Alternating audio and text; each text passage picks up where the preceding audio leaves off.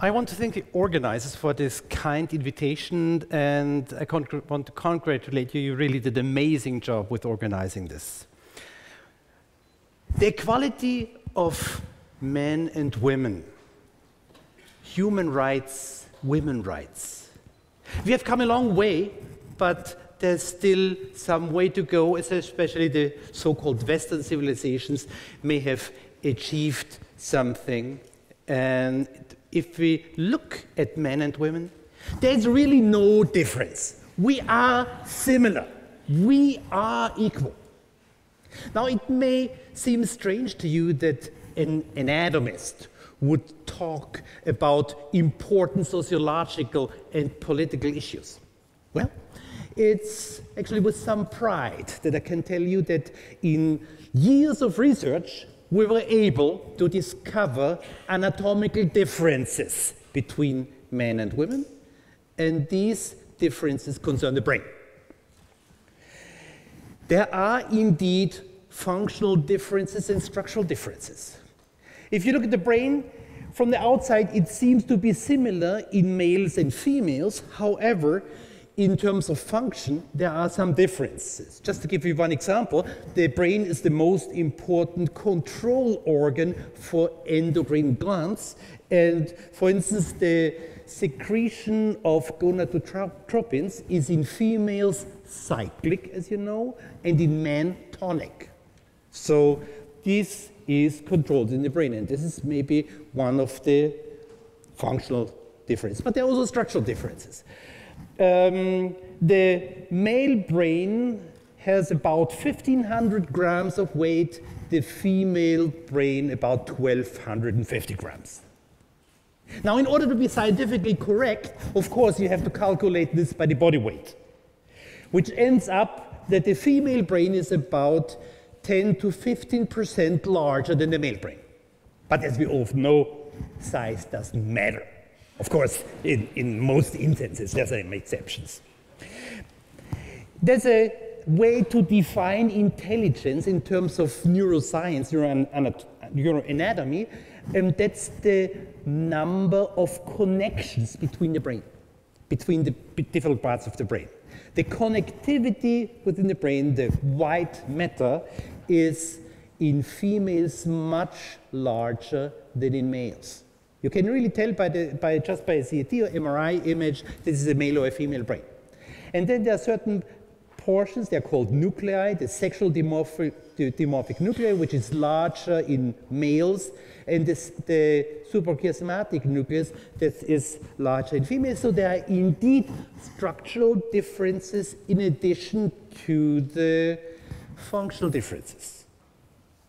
It was a few years ago that it was discovered that homosexuals have, to some extent, the phenotype of the brain and they'll be of the other gender, which of course was an uproar in, the, in science because if you just think about it, that you could attribute things like lifestyle with structural changes in the brain, that's really a scary thought. But this is something that was observed. Now, how does a male and a female brain develop? Well, the development occurs already in the fetal period, and what happens is that neurons start to divide and migrate, and they have a certain time to form a functional network. And they form a network by building synapses, by building connections within each other. And they have only a certain time to do so, if they don't manage to reach uh, connectivity, they will die. And 95% of all nerve cells that develop in our brain will die before they manage to form a connective network to form synapses. This is a large magnification drawing of one of these interconnectivities of the different nerve cells with each other. The control of these synapse formation is in part modulated by hormones, by hormones of the gonads. And there's one hormone that's estrogen, or estrogens, estradiol, the female sex hormone that enters the brain and that sort of inhibits selectively the formation of synapses. So the female hormone would induce the generation of a male brain. Yeah? It's the female sex hormone that makes man's brain shrivel up. Yeah? That would happen to any infant, to any fetus, because the maternal circulation contains huge amounts of estrogen. And in order to prevent this, the fetus develops a special protein, it's called alpha-fetoprotein, which binds all estrogens. So the normal, the, the female brain would be protected by this estrogen binding protein, it would be naive. Only in boys, in male fetuses, gonads are developed in the last trimester of pregnancy and they build testosterone which enters into the brain, into the nerve cells, and there's an enzyme called aromatase which transforms testosterone into estradiol to facilitate the generation of a male brain.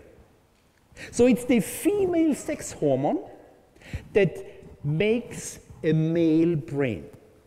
However, the smaller male brain. Women are to, not to blame for it. It's our very own testosterone that goes into our brains and it's transformed into the female hormone to make the male brain. Now, this, gentleman, is something that should make us think.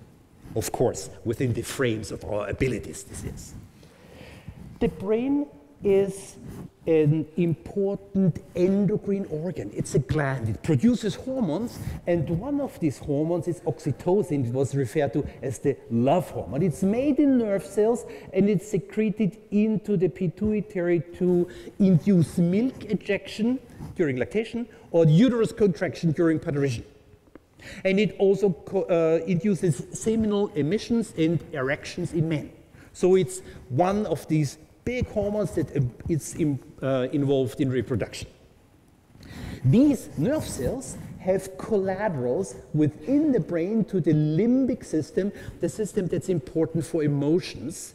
And of course, the expression and the secretion of these hormones uh, of oxytocin, of the love hormone, is controlled by estrogen, and the connections within the limbic systems induce sexual behavior and maternal behavior.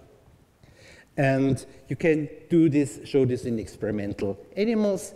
Um, this is actually known that the connection between the steroid hormones and the love hormone is it's well known. There's uh, this very old copper engraving which I found from 1619 from a gentleman, Mr. Corbius, who traveled to, through Africa and you observed the Hottentots had a very interesting way of obtaining milk. One would stimulate the cow in the rear and the other would just put underneath a bucket to collect the milk, and the cow didn't seem to oppose too much to this. And it was in the 50s that this connection between milk ejection and gonadal stimulation, genital uh, stimulation, would enter the literature as Ferguson reflex. Now we know that sex hormones stimulate oxytocin, and if you look at the uh, rat brain and, uh, and, look at the rat that had been injected with estrogen, you see that the nerve cells uh, drawn here red that uh, produce oxytocin are increased in number. And the, this only works with a very little amount of estrogen and high amounts of estrogen would downregulate it. And you observe the very same effect in males during mating. If you have a big, mean old rat and male rat, and you put a newborn pups in a cage, the rat will think it's food and will just eat them. And if you inject these rats before you put in the pups with oxytocin, they will build a nest and will be very sweet to the uh, pups and will not, uh, do, uh, will not harm them. And the very same thing happens when you let the rat mate. During mating, the, uh, with initial mating, the oxytocin pools are depleted. If they are allowed to meet for a long time, have long sexual experience, the oxytocin system is upregulated and it stays that way. And there's a kind of male central virginity. The oxytocin system is activated, it, re it reaches the female status. And interestingly, the sexual and maternal behavior in males is controlled in the limbic system by the very same circuits. Now, in terms of biology, this makes sense that a species that has a complicated cycles of reproduction will recruit both genders into raising the litter. That's important for survival. I mean, these are observations made in animals. Sexual and maternal behavior is linked in man, how, uh, in, in, in male rats.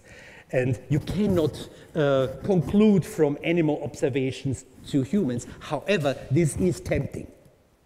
If, for instance, in male humans, sexual and maternal behavior would be controlled by the same circuits, would be linked. Perhaps this is the reason why a man calls a woman he loves baby. It's, in my opinion, one of the most fundamental misunderstandings between the gender. I mean, who, which grown woman wants ever, when she's in her right mind, be treated like an infant? Oh, baby, I'm so much in love with you. What? What did you just call me? Frankly, I never understood why women would put up with this. Ladies, it's brain circuits. It's sorted into our system. There's nothing we can do about it. We can't help it. I'm sorry. In females, sexual and maternal behavior exclude each other. When a female is maternal, taking care of a litter, she will attack the male and chase it away. And after the litter is weaned, she will again become sexually active and mate again. Again, in terms of biology, this makes sense. That a species that needs to ensure, like any species, the survival, males will be chased away until the offspring is weaned and is able to survive. Again, you cannot conclude to human behavior, however, it is tempting. And maybe this is one of the reasons why mood of women changes once they have children. And once they have little children, they are only maternal. And they start to treat their spouse as one of their children. Not that they may not deserve it. Honey, before you come to table, please put off your shoes and wash your hands. And he says, Sweetie, you are getting more and more like your mother. There are sex differences in perception and cognition, especially if it comes to sexual arousal. And in men, senses that, directed toward, that are directed towards distance, like vision or acoustics, are the main ports of entry for arousal. I don't know any woman who would appreciate telephone sex. Yeah? However, I mean, Frank uh, is, on, a, on a phone for you, you probably wouldn't like this too much. But men apparently do, and the industry, of course, knows this. In women, arousal stimulation is more directed or more controlled by senses that are for the close uh, this, for the close, uh, uh, for closest like uh, olfactory perception, gustatory perception, or tactile perception. And of course, the, the cosmetic industry knows this. Speech. Speech is definitely an invention of the female gender. Men would have never come up with this. The brain is an endocrine organ, and also the stress response, the way we respond to stress is gender specific, it's different. And men tend to even get addicted to stress. Stress and addiction are the same neuronal, similar neuronal circuits. Only men do these crazy things. Um, it has always been that way. That's why probably wars are always conducted by men. And even in the old age, look at Siegfried the Dragon Slayer, yeah? He just went into the forest to kill this dragon because he wanted to have this kick in his brain, yeah? Animal rights didn't uh, bother him at all, yeah? but it was the, the last species, he just killed it because he wanted to have this feeling, he wanted to have this stress. A, a little Ritalin would have taken care of his problem, you know? And that's, of course, has been around forever. I'm sure that the mammoth was extinct because our forefather wanted to have some fun.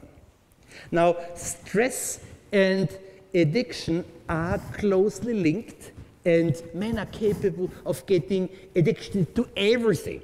Getting addicted to sex, to game, to food, to smoking, to drugs, to fast cars, just everything. Addiction and is perhaps the male way of stress response, response to chronic stress. In females, it's quite different. Chronic stress quite frequently results in depression, and depression is to 80% a female symptom. And I guess depression is also some kind of an addiction. And the same is true for anorexia, which is in most cases a female ailment. Hyperactivity in children is mostly affecting boys, or the uh, attention deficit disorder or the aggression disease. It's an ailment of the male gender. So these behavioral things are quite different. And the ideal of beauty, beauty is something that's imprinted in our brains. And it's sex reverse. A woman wants to be beautiful the way she would like to have a man. She wants to be skinny, she wants to be slender, and that's why she starves herself to death almost. And men see this quite differently. Men want to be beautiful, to be round, because they want to have the female phenotype in their brain. I'm sure that the huge, huge pectoral muscle that the bodybuilders gain should resemble breasts, because they still have the Stone Age Venus of Willendorf in their head. So the images are different, and of course the commercial industry knows this. I mean, uh, what does liquor have to do with a beautiful woman? It's intended for men. The man sees liquor, beautiful woman, bite. Yeah? the same true for uh, in car tires. Is there anything less romantic on this planet than automotive tires, right? So there's a woman to advertise this or insurances. So summarizing the differences between the gender have been all the time around. That's what the attraction makes out. Uh, if you look at the uh, paintings in Pompeii, at uh, the uh, Tantra or, or, Casanova, it has been always around. Now, I guess my talk has become sort of philosophical and has left anatomy. And for a philosophical talk, you have to stop with a definition. And my definition is sexuality is the biological concept of distinction. The fact that we are different is the basis of our attractivity. That's what makes us attractive. And that's what we should keep in mind even if we strive for equality. Thank you very much.